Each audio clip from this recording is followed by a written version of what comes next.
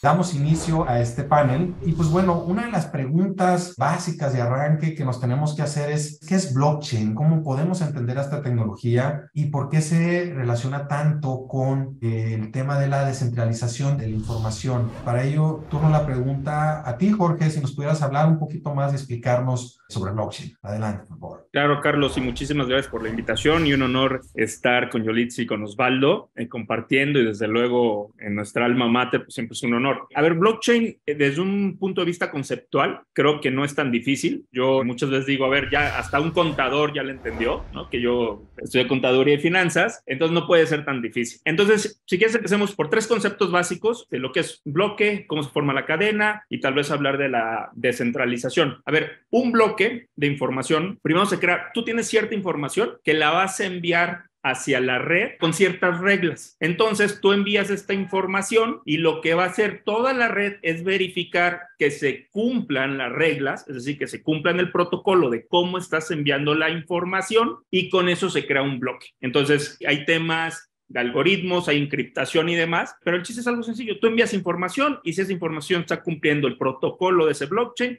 eventualmente se va a formar un bloque. Y ese bloque contiene la información, vamos a decir que tú mandaste ya de manera encriptada, ¿ok? ¿Quién encripta esta información? Se encripta a través de muchos nodos que participan en la red, ¿ok? Y nodos, para tal vez entenderlo de manera muy simple, son computadoras conectadas por todas partes. Entonces, digamos, son máquinas que están analizando que la información venga de manera correcta y la encriptan. Ahora, la cadena se empieza a crear cuando tú tienes ese primer bloque, se le pone un número de bloque que se conoce como hash, ¿ok? Pero es un número de bloque. Entonces, ese primer bloque tiene ese número. El segundo bloque, una segunda operación que parta de esta primera, va a contener el número de bloque del primero. Entonces, por eso es la trazabilidad y es como se va creando una cadena. Ahora, el tema de descentralización, que creo que muchas veces no se entiende bien, porque a veces se trata de explicar como, oye, centralizado tiene que ver con el gobierno y descentralizado lo que no es gobierno. Centralizado es que parta de una entidad central. Puede ser una empresa y que centralice la información. Yo, por ejemplo, trabajé en Citigroup y toda mi información como empleado la tiene Citigroup de manera centralizada en sus servidores. No está por todo. Descentralizado es que toda esa información, esos bloques están grabados en la misma cadena o en la misma red. Último punto tal vez en esta parte. ¿Por qué mucha gente dice que la información es inmutable y verdadera? Dos conceptos. Entonces es muy difícil hackear a todas esas computadoras. Hay muchos usos muy interesantes que se le puede dar a esta tecnología, ¿no? Y precisamente uno de los que escuchamos con gran frecuencia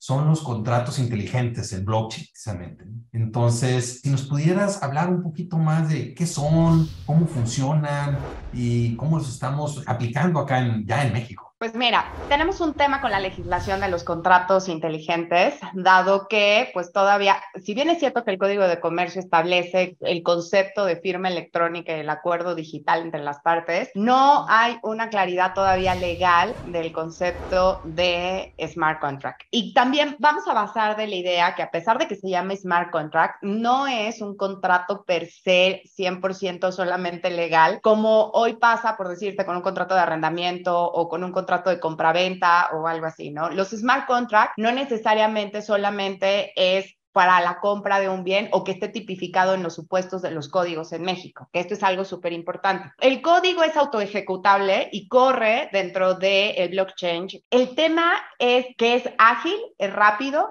puede ser muchísimo más amigable y certero. ¿Por qué? Pues porque va en una cadena y tiene ciertos protocolos y si tú no tienes esas llaves no se podría abrir. Lo cierto es que todavía creo que a nivel mundial no es una práctica todavía al 100% explotada y utilizada. Eh, ¿Por qué? Pues porque no se hacen en un papelito, no se hacen en Word, no se firman por las partes, sino es a través de un código que se ejecuta y se programa dentro del blockchain y de ahí puedes partir que pueda correr por diferentes ecosistemas dentro de ese ecosistema descentralizado, porque recordemos que si bien es cierto que es un ecosistema descentralizado, hay micro ecosistemas dentro de un solo protocolo. Un ejemplo, este Ethereum, ¿no? Que tiene sus propios protocolos y tiene diferentes cosas y ahí podríamos utilizar el tema de los smart contracts. Entonces, en términos generales, creo que es una herramienta que sin duda alguna va a evolucionar y que muchos lo vamos a utilizar en diferentes aplicaciones, pero tiene sus asegúnes porque tienen que ser programados, tiene que haber un programador,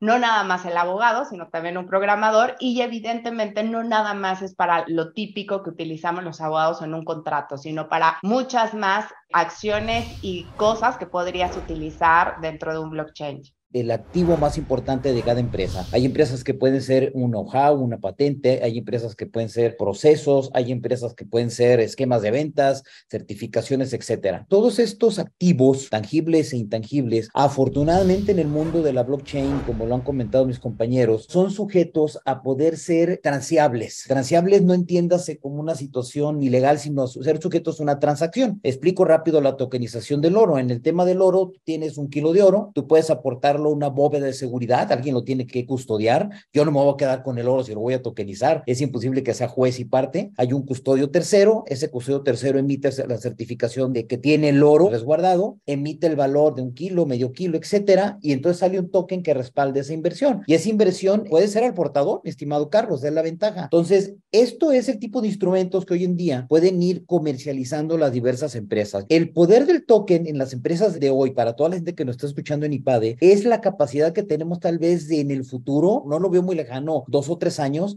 a poder quitarnos ya tal vez el tema de tener que pedir préstamos a un banco y que el banco nos cobre ciertos intereses. ¿Por qué? Porque puedo tener algo totalmente tangible, aunque esté respaldado y creado en un token que está en la blockchain. Al tener esa bondad, al tener esa potencia dentro de esta tecnología, lo que va a hacer es que diversos negocios puedan levantar capital sin necesidad de poner en riesgo tal vez toda la otra actividad de negocio que tienen o tener que poner la empresa en medio para lograr tener algo de capitalización.